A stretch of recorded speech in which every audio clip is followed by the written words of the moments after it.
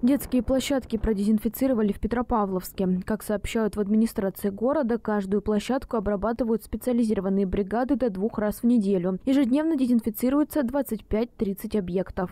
Еженедельно с начала апреля этого года на территории городского округа проводятся дезинфекционные мероприятия. Ранее они проводились на объектах э, скверах, парков. На сегодняшний день дезинфицируются только детские площадки, э, закрепленные за управлением благоустройства. Всего в городе более 150 муниципальных детских площадок. Их еженедельная обработка дезинфицирующими растворами проводится для предупреждения распространения COVID-19.